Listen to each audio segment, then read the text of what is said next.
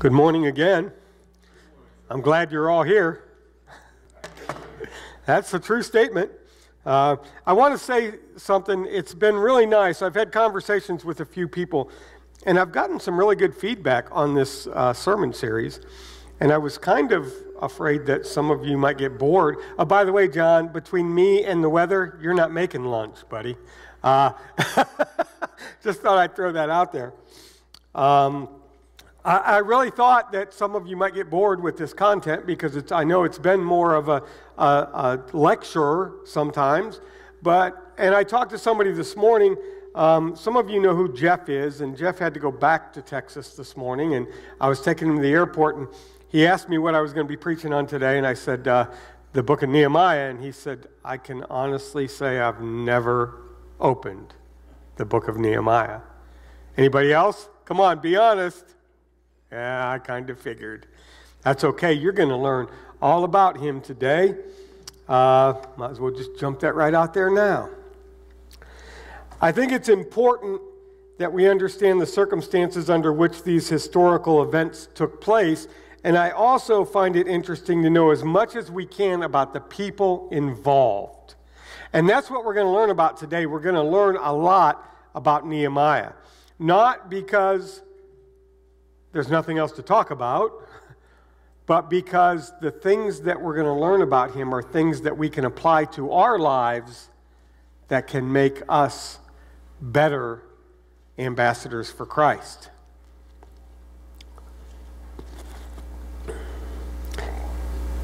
Like the rest of the biblical characters that we read about in the Old and New Testaments, Nehemiah has some unique qualities that we can all learn from. Maybe more than any other Old Testament book, it, it seems that his personality comes through. And that's a big deal when you think about it because if you read the books of Daniel and the book of Isaiah, their personalities really come through. But this, even more, because this is written in the first person. He says, I did these things. I found these things out.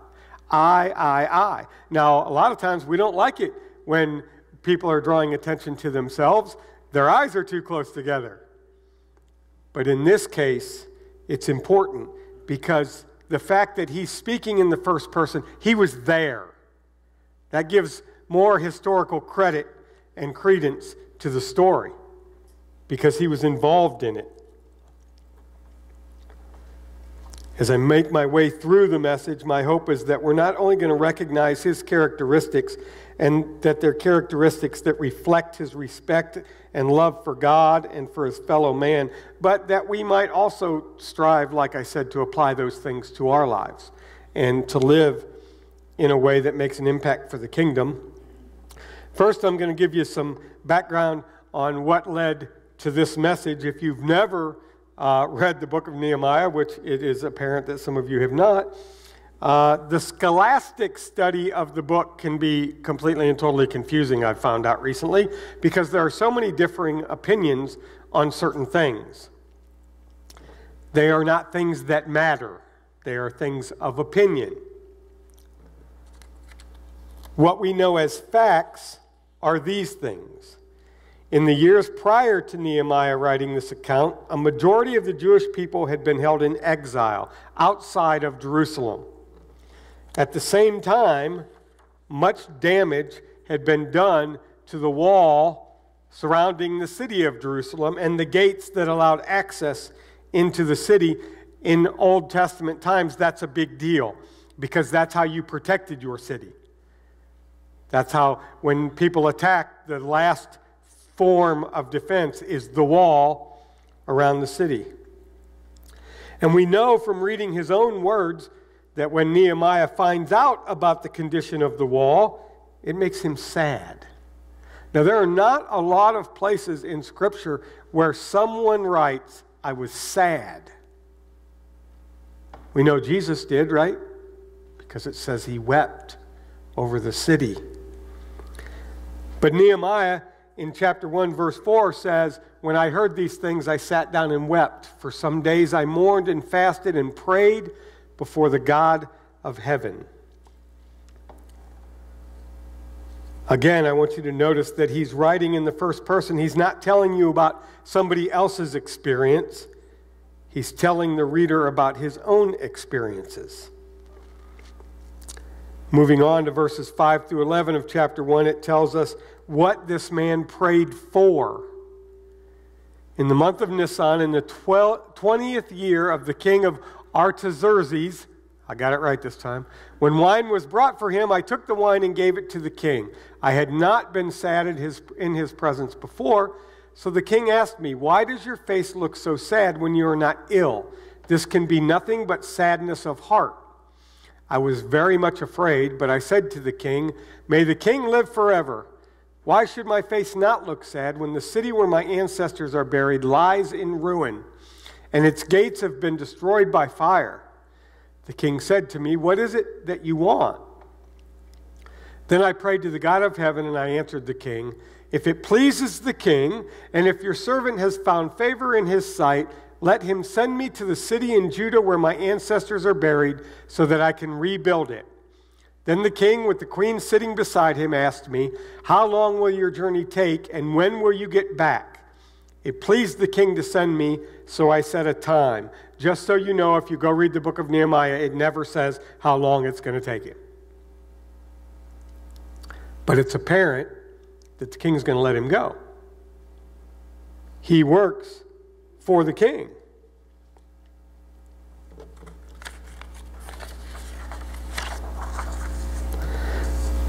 There's something else that's important to see in that exchange.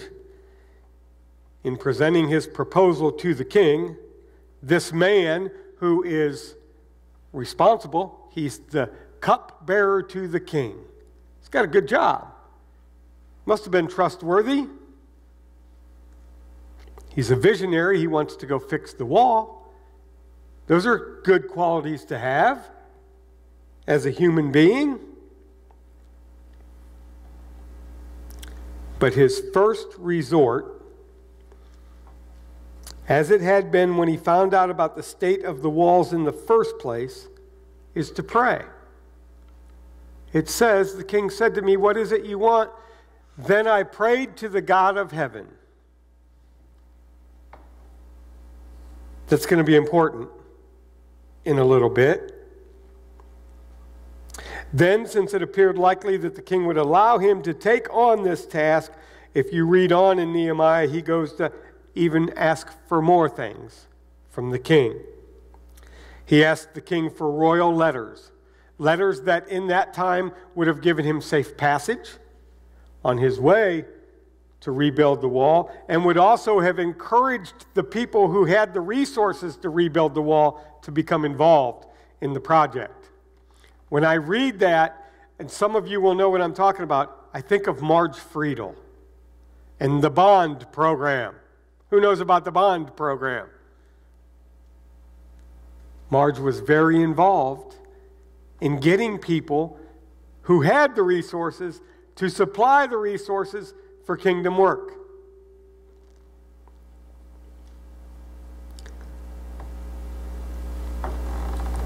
The king not only granted all those requests, but he also sent military personnel along as insurance. So once the plan's been approved, Nehemiah goes into action. I think it's interesting that his first act is to go inspect the wall and the gates to determine if this can be done at all. Because he really doesn't know.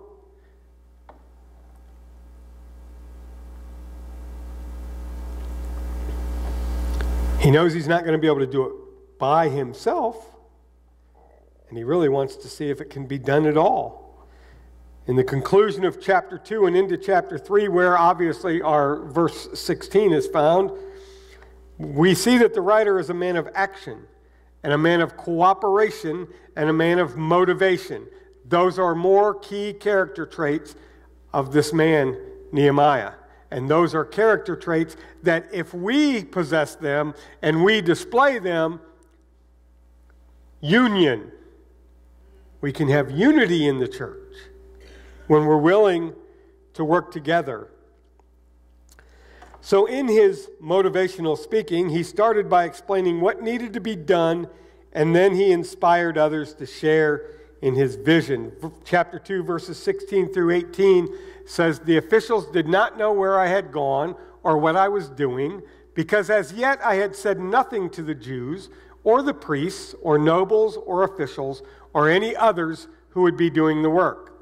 Then I said to them, You see the trouble we're in. Jerusalem lies in ruins, and its gates have been burned with fire.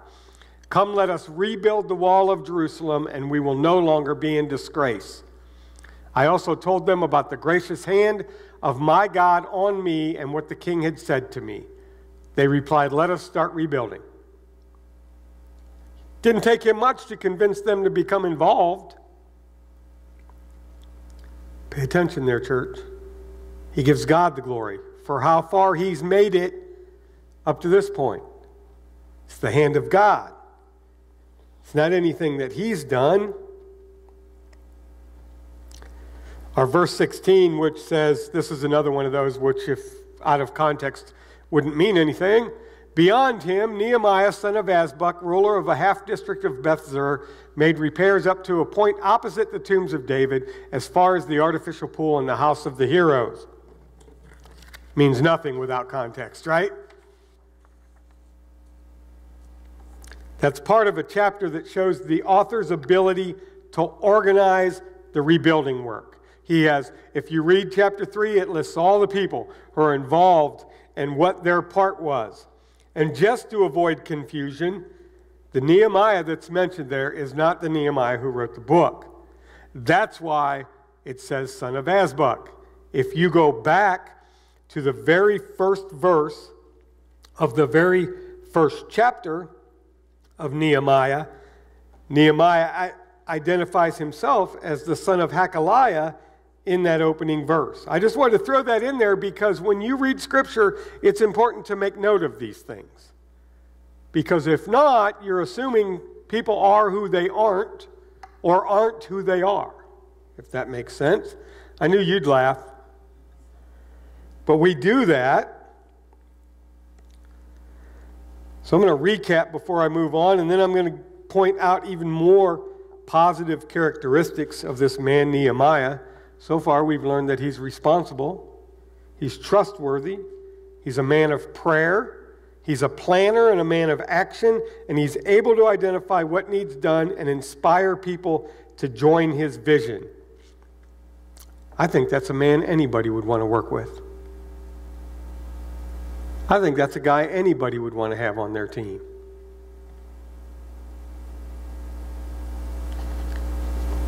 Pretty swell guy, huh? But wait, there's more. There's always more. Nehemiah not only was able to motivate his fellow workers with his words, but also with his own example. In chapter 5, verses 14 through 18 tell us that after being appointed governor of Judah, neither he nor his family took advantage of all the perks that went with that position which would include the best food, the best wine, land that they could take possession of. But verse 16 of chapter 5 says, Instead, I devoted myself to the work on this wall. All my men were assembled there for the work.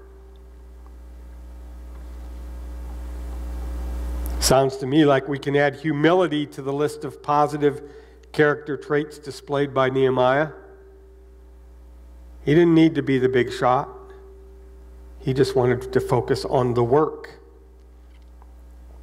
He not only denied himself his own privileges, as we read in chapter 5, but he also called out the wealthy Jews who were taking advantage of their poorer countrymen. I know it just sounds like I'm heaping a lot of praise on this guy. You'd think, based on what I've said, that he's some kind of superhero. Listen, he's not. He's a guy but he's a man on a mission with a passion for God's work. And he simply won't let anything get in his way. His writings show that in addition to everything else, he has the ability to overcome opposition. How many business people do you know that run into problems in business and they just fold? They just stop. They just give up. Not Nehemiah. Over and over again, and I imagine much like the people did when Noah was building the ark, over and over again they tried to intimidate him. First, they ridiculed him. You don't really think you can fix this wall. In chapter 4, it says that one person claimed that the weight of something as small as a fox would collapse this new wall they were building. So why bother?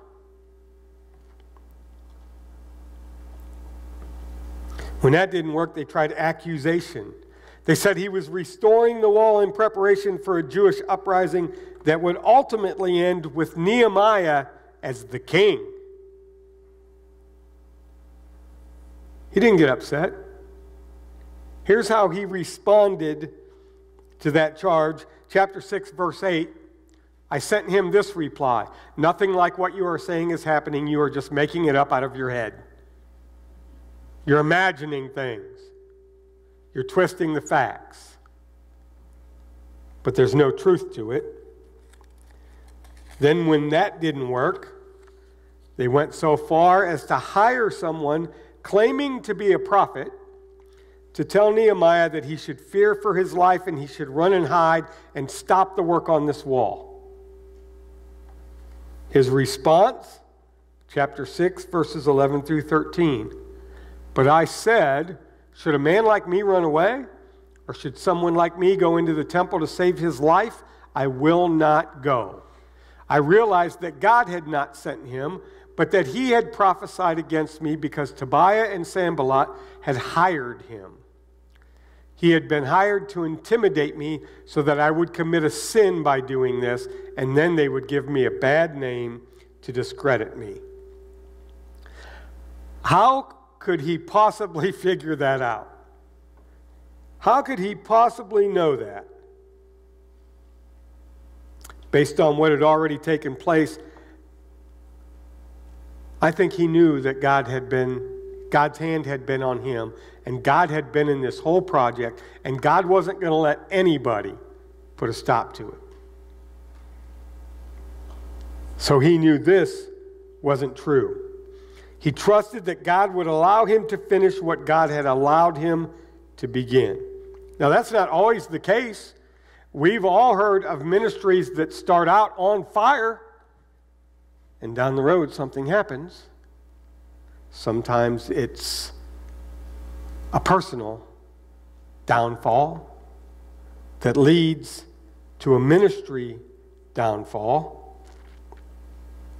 We wonder why some things thrive and other things don't when it comes to kingdom work. I have a theory.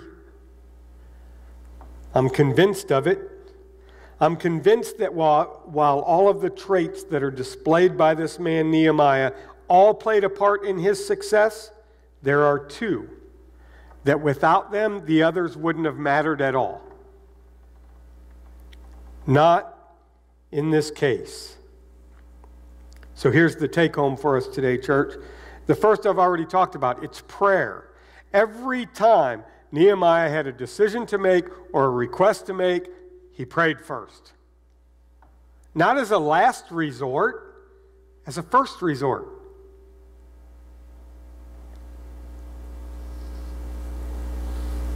The other is the proper motivation. He had his reasons for wanting to rebuild the wall and the gates. He had a heart for the Jewish people. He wanted to see the Jewish people restored, their sense of pride restored, their place where they lived restored. He wanted this to all come back together.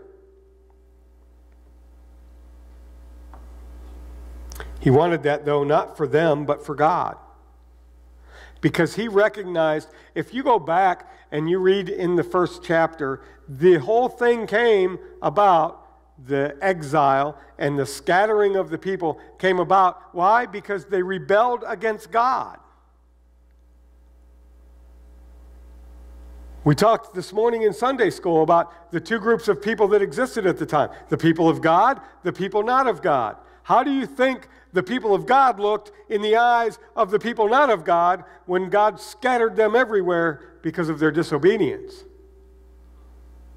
To bring them back, Nehemiah's goal was to restore the relationship between the Jewish people and God to help restore that by bringing the people home. Because if you go back and read, God said, if you do this, I'm going to scatter you to all the nations. If you come back and repent and are obedient, I will gather you back together again. Nehemiah knew that. That's what he was working toward. The wall was merely a way to do that, a way to get people involved. He wasn't interested in the approval of others. He wasn't interested in being remembered as a great man among great men. His motivation throughout his work, throughout his ministry, was to please and serve God, period. That's all. At the very, as the very last words of this book, and at four or five other times in the book as well, Nehemiah writes these words Remember me with favor, my God. That's all he wanted out of life. That was it. That was the goal.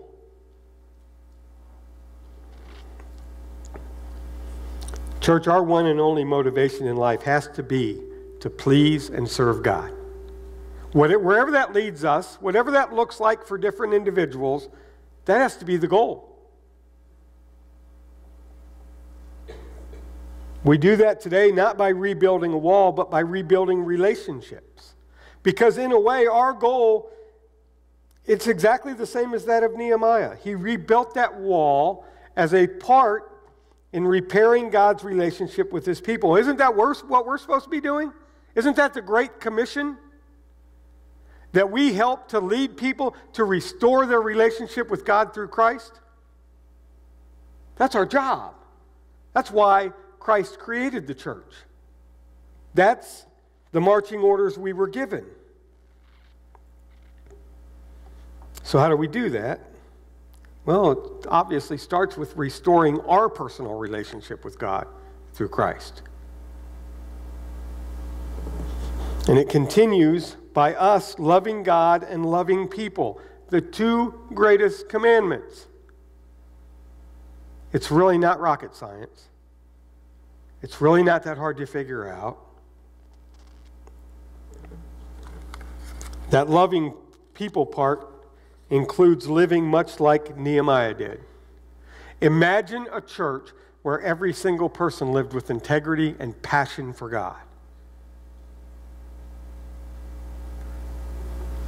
That church will change the world again.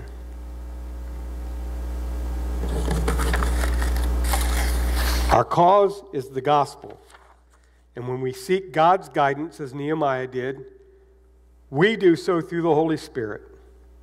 And when we follow that guidance, no matter what the world throws at us, like Nehemiah did, our ultimate reward will be God's favor. And that's all we really need. Let's pray. God, I love you so much. I thank you for your word, for the insights that we find in it, for the examples of people who lived to glorify you and to lift up your presence in the world. Father, we do that by lifting up the name of your Son, Jesus. And I pray that if anyone can hear this at any point in time, and they've never taken that first step, restoring their relationship with you through Christ, that they would do that. As for the rest of us, I pray that you would use us to rebuild walls, not walls of division, but walls of gathering together your people. Today, in this world, that's the church. And Father, I pray we would be used to draw people to you and into your family so that when the time comes, when your Son returns, we would all be together in union with you forever. We pray this in Jesus' name. And the church said,